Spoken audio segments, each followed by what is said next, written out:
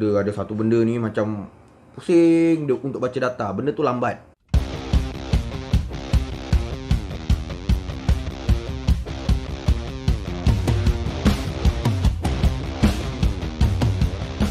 Salam guys, welcome to my video Sebelum ni ada viewer yang komen dengan aku Bang, tolonglah buat video tentang PC setup ke apa Bukan setup ni lah, maksudnya tips-tips nak beli Apa barang-barang PC, komponen-komponen PC Eh, actually, aku tahu tentang PC Tapi tak adalah terror sangat Cuma, mungkin aku tak buat satu video aku akan pecah-pecahkan Dan baru-baru ni member aku ada tanya tentang storage Nak beli storage macam mana So aku tergerak nak buat satu video tentang storage PC ni Okay So, ini dia perkongsian aku.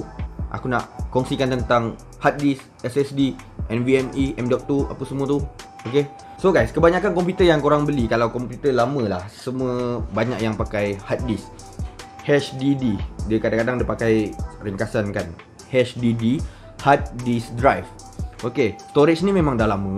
Apabila masuk dalam komputer tu, korang ada letak satu sistem OS ah ha, operating system korang letak dalam hard disk tu hard disk ni ramai cakap tak laju pasal apa pasal dia sistem disk okey disk the RPM tu kan dia kan ada tulis 7000 RPM round per minute dia ada satu benda ni macam pusing dia untuk baca data. Benda tu lambat.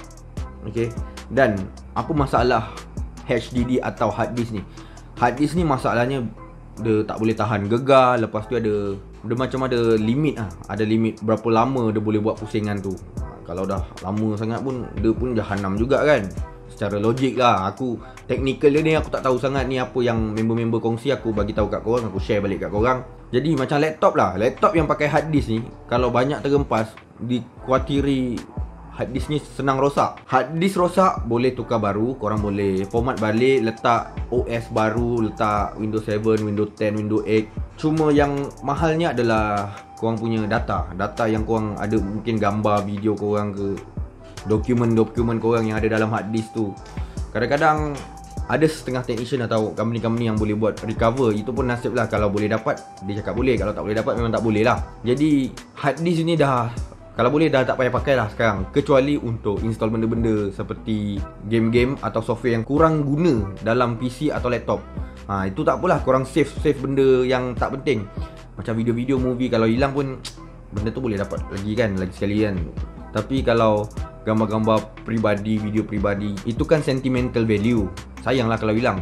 Jadi untuk mengelakkan benda-benda ni kan Hard disk bergegar cepat rosak lah apa ni semua korang kena upgrade laptop korang atau PC korang gunakan SSD singkatan daripada solid state drive.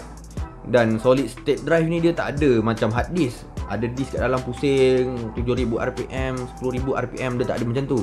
Dia solid je dia benda yang simpan keluar masuk keluar masuk keluar dia macam tu je dia tak ada nak pusing-pusing kat dalam tu tak ada jadi SSD ni kelebihan dia dia tahan lama dan antara paling penting, kelebihan yang paling penting yang orang nak sangat pakai SSD adalah laju.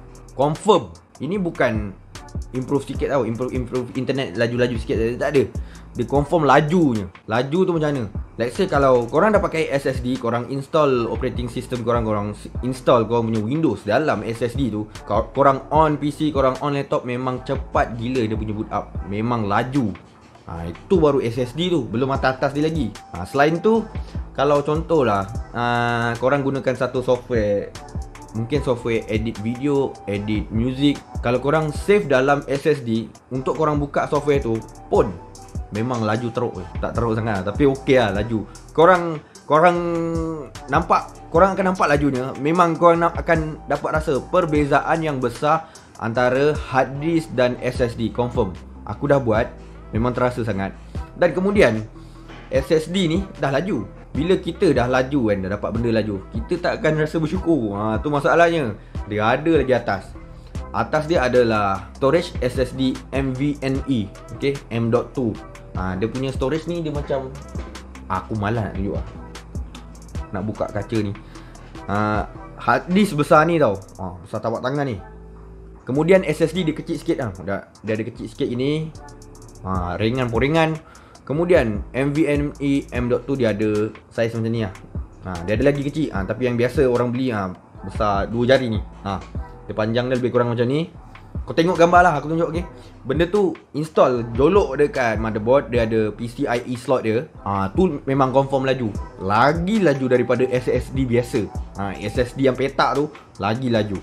Lepas tu dia ada dua jenis connection. Let's say ni NVMe M.2 yang cocok dekat connection PCIe 3.0.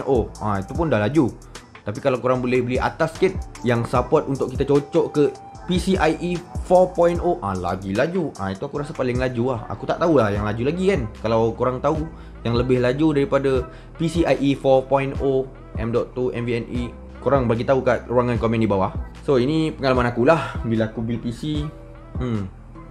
Aku cuba dapatkan PCIe punya SSD M- M.2 Actually aku tak panggil NVMe Ramai orang tak panggil NVMe Banyak orang panggil M.2 Eh, eh masuk kasih masuk itu SSD M.2 ha. Biasa orang panggil macam tu lah kan SSD M.2 Jadi guys Antara komponen utama dalam PC yang korang perlukan untuk lajukan PC tu Untuk buka software ke apa nak buat transfer Laju Storage tu penting.